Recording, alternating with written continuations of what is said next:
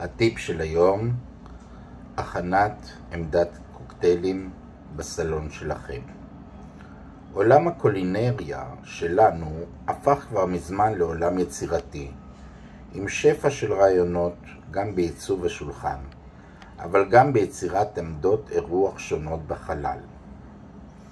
אם יש לכם אורחים לארוחת הערב, דאגו לכך שמלבד שולחן האוכל תהיה גם עמדה של בר קטן שיצרתם בעצמכם.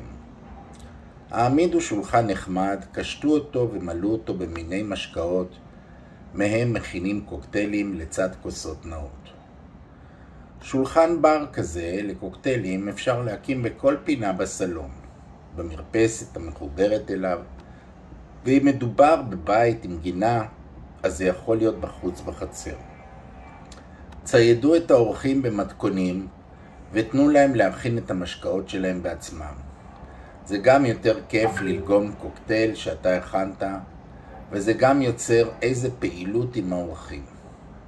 לוק של בר תמיד עושה שמח, והופך את הערב למשהו יותר מיוחד מעוד ארוחת ערב.